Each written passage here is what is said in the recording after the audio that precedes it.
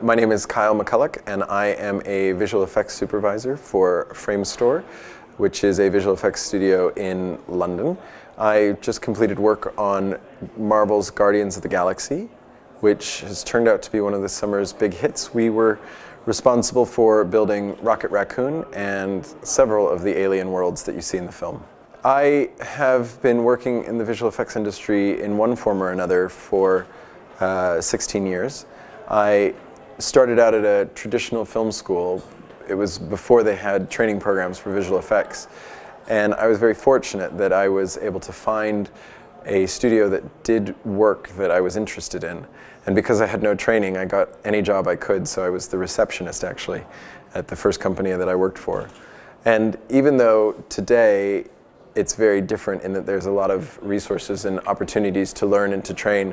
I think the thing that you see that is still true of visual effects artists today as it was 15 years ago is the people who do this work are people who are passionate about it.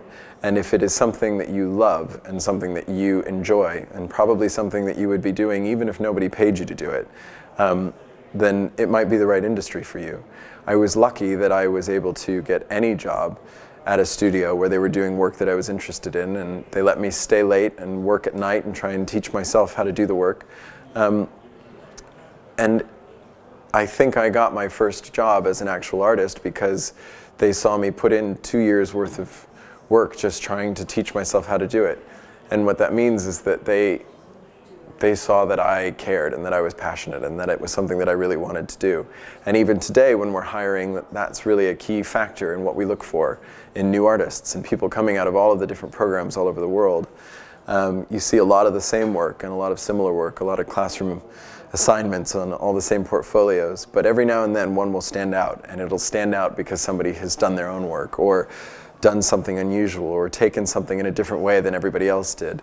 And you can recognize in those people's work uh, a passion and an engagement in the stuff that they're doing.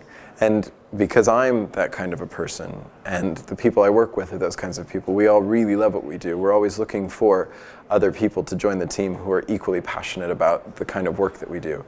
And so those are the kinds of things that I think really stand out. And if you're that kind of a person, if you're that artist, then that will make you shine and hopefully bring you to the attention of someone who's hiring for new work. Visual effects is a really exciting and interesting industry, but it's a very centralized and focused industry.